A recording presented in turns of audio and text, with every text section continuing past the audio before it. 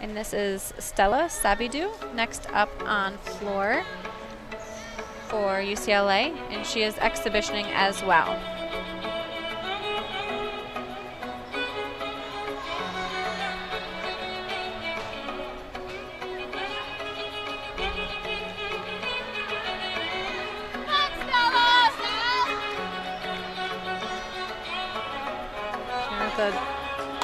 two and a half.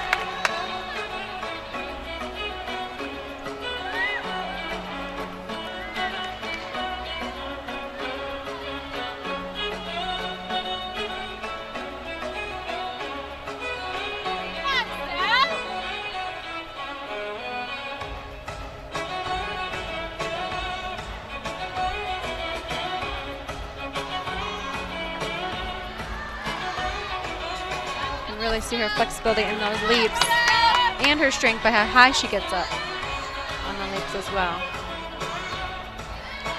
Yeah. You can tell as she's doing her tumbling passes, it looks like she's not using her right hand, which is braced up.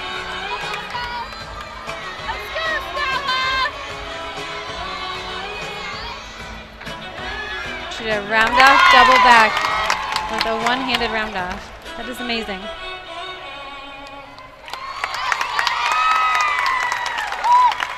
That will conclude our third rotation. Gymnasts, please proceed to your final rotation and prepare for